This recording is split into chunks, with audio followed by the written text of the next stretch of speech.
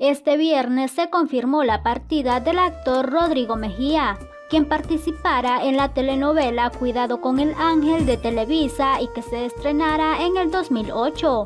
Cuidado con el Ángel estuvo protagonizada por Maite Perroni y William Levy, y es una de las producciones más conocidas en las que participó Mejía, quien estaba casado con la conductora Gaby Crasus con quien tiene dos hijos.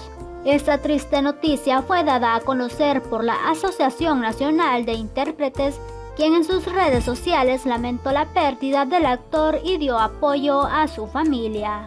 Rodrigo Mejía por muchos años trabajó en Televisa, donde participó en exitosas producciones como El Juego de la Vida, Mundo de Fieras y Cuidado con el Ángel. Su última aparición en la pantalla chica fue en el 2018, cuando fue parte del elenco de la telenovela de TV Azteca Tres Familias. Mejía tenía más de 12 años de matrimonio con Crasus, conductora del programa Al Extremo, con quien tuvo dos hijos, Matías y Mauro. Rodrigo Mejía siempre fue considerado como una persona muy humilde a la hora de dar entrevistas, pues lejos de creerse un divo siempre respondía a los cuestionamientos de la prensa, quienes le preguntaban de sus recientes proyectos además de cómo le iba en su vida de casado, por lo que muchos de sus fans se sorprendían por la educación que tenía a la hora de hablar.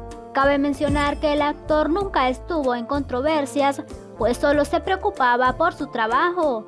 Además siempre fue muy entregado a su familia, pues el motor para empezar a trabajar eran sus hijos.